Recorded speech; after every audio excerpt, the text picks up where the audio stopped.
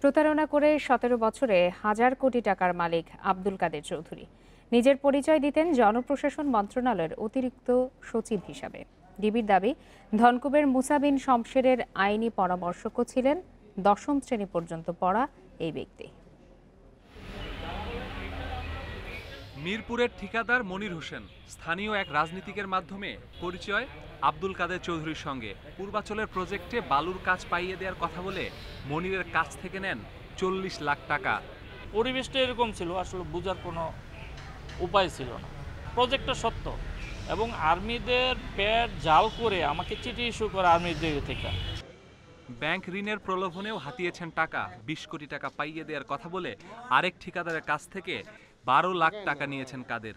টাকাটা নেওয়ার পরে আমাকে বলে যে পনেরো দিন বিশ দিন পরে আপনি এটা খবর নিয়েন। যার পরে অফিসার খোলা পায় না। তো এইভাবে উনি আস্তে আস্তে আমার ট্রেসের বাইরে চলে যায়। এমন বেশ কিছু অভিযোগের ভিত্তিতে বৃহস্পতিবার কাদেরের প্রধান কার্যালয় গুলশানের জব্বার টাওয়ারে যায় গোয়েন্দা পুলিশ। কাদের ও তার দ্বিতীয় স্ত্রী সহ গ্রেপ্তার করা হয় চারজনকে। সেখানে পাওয়া যায় তেইশ ধরনের ভুয়া নথিপত্র। সে বহু মানুষকে ঠকিয়েছে এবং সে বহু ব্যবসার নামে এখন তার সাথে আরও কিছু রাঘব বল রয়েছে যাদের যুগ সাজসে সে কাজগুলি করেছে। পরে অভিযান চালানো হয় কারওয়ান বাজার ও মিরপুর কার্যালয়েও। জব্দ করা হয় অবৈধ অস্ত্র, দেড় কোটি টাকা দামের নম্বর প্লেটহীন গাড়ি। শনিবার মিডিয়া সেন্টারে ব্রিফিংয়ে গোয়েন্দা পুলিশ জানিয়েছে, ভূমিহীন জেলে পরিবারের ছেলে আব্দুল কাদের মাঝি সতেরো বছর আগে ঢাকায় এসে নামেন প্রতারণায়। সাফল্য আসতে থাকায় পরে মাঝি ছেটে ফেলে পদবি হিসেবে ব্যবহার করেন চৌধুরী। এর কিছুদিন পর বনে যান জনপ্রশাসন মন্ত্রণালয়ের অতিরিক্ত সচিব।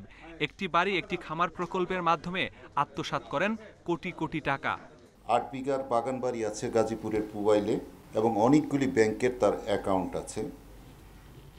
অডেল সম্পত্তির এই মালিক এই ভুইফুর আব্দুল কাদের নেই কোনো বৈধ উপার্জন। মূলত সে প্রতারণা। ডিবির দাবি দশম শ্রেণি পর্যন্ত পড়ালেখা করলেও ধনকুবের মুসাবিন শমশেরের আইনি পরামর্শক ছিলেন তিনি। মুসার দেয়া বিশ কোটি টাকার চেকও পাওয়া গেছে তার কাছে। এখানে দেখা যাচ্ছে যে তার লিগ্যাল অ্যাডভাইজার হিসেবে একটা নিয়োগের বিষয় আছে। আমরা যেহেতু তদন্ত চলতেছে এখন আমরা কি কি বিষয়গুলি আছে এগুলি কিন্তু সবগুলি আমরা একটু উঠে আনব। প্রতারণার জন্য সাতটি নাম সর্বস্ব প্রতিষ্ঠানও খোলেন কাদের।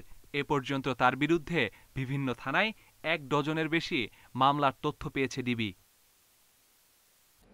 এ বিষয়ে আলোচনা করতে মিরপুর থেকে আমাদের সাথে যোগ দিচ্ছেন ঢাকা মেট্রোপলিটন পুলিশের গোয়েন্দা গুলশান বিভাগের উপকমিশনার মশিউর রহমান। জনাব মশিউর রহমান, আপনাকে স্বাগত জানাচ্ছি ইন্ডিপেন্ডেন্ট সংবাদে। শুরুতেই যে বিষয়টি জানতে চাইব যে, যেমনটি আমরা আসলে রিপোর্টে দেখছিলাম, যে একটা মানুষ দিনের পর দিন এতগুলো প্রতারণা করে গেল, সেক্ষেত্রে আসলে কেউই টের পেল না এটা কীভাবে সম্ভব? দেখুন, টের কিন্তু পাওয়া গেছে এবং সেই কারণে দুই হাজার চোদ্দ সাল থেকে দুই হাজার সতেরো আঠারো সাল অনেকবারই সে গ্রেপ্তার হয়েছে।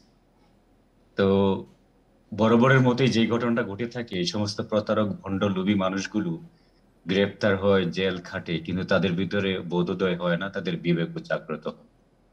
আর প্রতারণার ক্ষেত্রে বিষয়টা যেটা যে যারা প্রতারিত হন, ওনারা যদি নিজেরা মুখ না খুলেন অথবা প্রতারণার বিরুদ্ধে কারও কাছে অভিযোগ না করেন, তাহলে কিন্তু আইন শৃঙ্খলা রক্ষাকারী আমরা অথবা সাংবাদিক আপনারা নিজে থেকে কিন্তু এটা জানতে পারবেন না।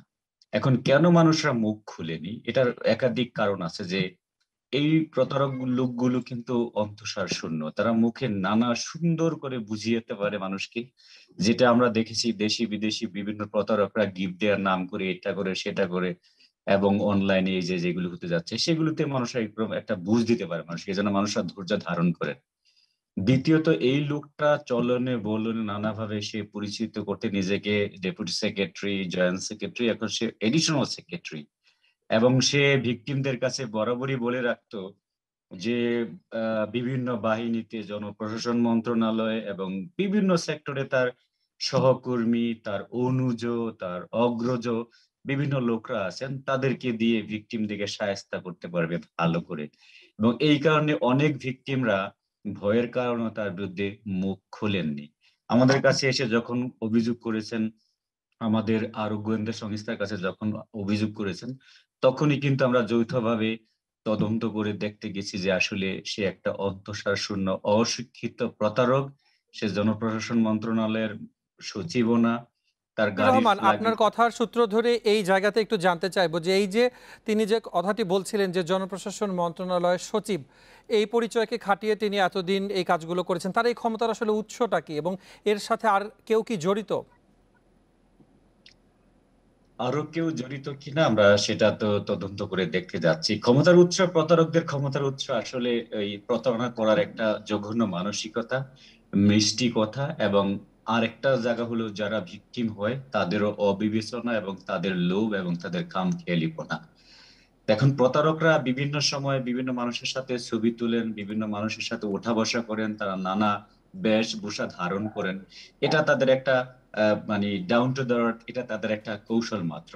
সেই কৌশলগুলি তারা এই কাজগুলো করেন। আমরা তদন্তের একেবারে প্রাথমিক পর্যায়ে আমরা দেখতে যাচ্ছি যে আর কারোর সাথে তাদের ওটা বসা ছিল, কোন ব্যাংকে তার বিস্তর বিষয়গুলো ছিল। সে যে ভলিউমে প্রতারণা করেছে, জাহাজ কিনা থেকে শুরু করে বহুত রকমের আশ্বাস প্রশ্বাস সে মানুষকে দিয়েছে। একটা একেবারে প্রান্তিক, ভূমিহীন ঘরের পরিবারের লোক এখন সে বিলাসী যেই জীবন যাপন করে, বহুগামিতা করে, বিস্তর টাকা ঠকাচ্ছে বা দিচ্ছে, এই জিনিসগুলো আমরা খতিয়ে দেখতে যাচ্ছি এবং কীভাবে ভিকটিমরা প্রতিকার পাবে সেটার বিষয়ে আমরা চিন্তা ভাবনা করতে যাচ্ছি। জি। সেক্ষেত্রে আসলে আপনি যেমনটি বলছিলেন যে জাহাজ কেনা থেকে শুরু করে তার আরও এরকম বিস্তৃত তার সম্পদের পরিমাণ রয়েছে, সেক্ষেত্রে আসলে কি পরিমাণ সম্পদের খোঁজ পাওয়া গেছে সেটি কি এখন পর্যন্ত জানা গেছে কিনা এবং এগুলো বাজেয়াপ্ত করার কোনো ব্যবস্থা নেওয়া হচ্ছে কিনা? জি, এটা একটা গুরুত্বপূর্ণ প্রশ্ন করেছেন। আমরা ইতিমধ্যে তাদের বিভিন্ন ব্যাংকের বেশ কিছু অ্যাকাউন্টের কথা সে যেটা আমাদের কাছে এখনও পর্যন্ত বলেছে। ঢাকা মহানগরীর বিভিন্ন এলাকায় এসে অনেকগুলো ফ্ল্যাট কিনেছে, জায়গা কিনেছে। ঢাকা, নোয়াখালী, গাজীপুরের বিভিন্ন জায়গাতে গুলশানে তার ফ্ল্যাট আছে তার দামি দামি গাড়ি আছে। তার তিন, তিনটা বউকে সে লালন পালন করে থাকে। সব মিলে একটা এক্সপেন্সিভ লাইফ হি লিডস এবং তার বিপুল পরিমাণে যে সম্পত্তির বিষয় আছে, আমরা বোধ করি আমরা এই মামলাটার জন্য আমাদের সর্বোচ্চ তদন্ত সংস্থা সিআইডির সহযোগিতাও নিতে পারব এবং তারাও সেই প্রেডিকেটেড অফেন্স হিসাবে সেখানে মানি লন্ডারিং বিষয়গুলো করে এই সমস্ত মামলার একটা শেষ পরিণতির দিকে যাওয়া উচিত। শুধু সারফেসে ধরলাম, দুই চার দিন রিমান্ডে থাকল, আপনারা আমরা হইচই করলাম, এগুলো না করে আরও ডিপে গিয়ে এদের তলানি পর্যন্ত গিয়ে নিঃস্ব করে দিয়ে তারপরে আমাদের যারা ভিকটিম হয়েছেন, সেই ভিকটিমদের হাতে তাদের প্রাপ্যটা তুলে দেওয়াটা একটা লক্ষ্য হওয়া উচিত। আমরা সেই লক্ষ্যে কাজ করব ইনশাল্লাহ জনাব মশিউর রহমান, আমাদেরও প্রত্যাশা থাকবে যে যে লক্ষ্যের কথা আপনারা বলছিলেন যে, কারণ সবসময় আমরা দেখি যে, যখন আলোচনা শুরু হয়, তখন সেটি নিয়ে খুব তোড়জোড় হয়। এরপরে যারা ভুক্তভোগী, তারা আসলে সেইভাবে ফল পান কিনা সেটা কিন্তু আমরা জানতে পারি না। কিন্তু আপনাদের উদ্দেশ্য যেন সফল হয়, সেটি আমাদের প্রত্যাশা থাকবে। ধন্যবাদ জানাচ্ছি আপনাকে। আমাদের সাথে যোগ দেওয়ার জন্য।